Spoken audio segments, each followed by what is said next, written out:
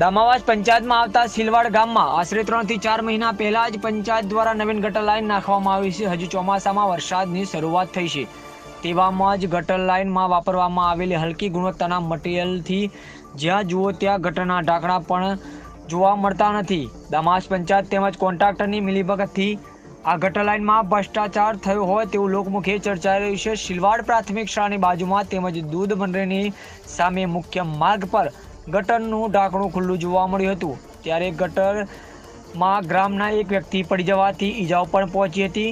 ત્યારે ખુલ્લી ગટર લાઇનમાં જો કોઈ પડે અને મૃત્યુ પામે તો જવાબદાર કોણ? આવા ભ્રષ્ટાચાર કોન્ટ્રાક્ટરના કારણે લોકો મોતને ભેટતા હોય છે.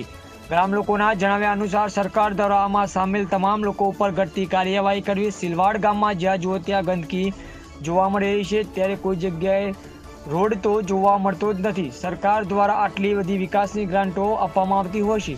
તો શું ગ્રામ પંચાયત પાસેથી દર વર્ષે ટેક્સ લેશે તો સારા રોડની સુવિધા આપવામાં આવે તેવી ગ્રામજનોની માંગ ઉઠવા પામી છે. બિપિન જોશીનો રિપોર્ટ બીજી ન્યૂઝ ખેડબ્રહ્મા ની અંદર ગટર લાઈન બનાવી છે. ગટર લાઈન બનાવી છે. એમાં હું કાલે પડ્યો કે આખો આ પગ આખો ફ્રેક્ચર થઈ ગયો છે. આખો પગ ફ્રેક્ચર થઈ ગયો છે.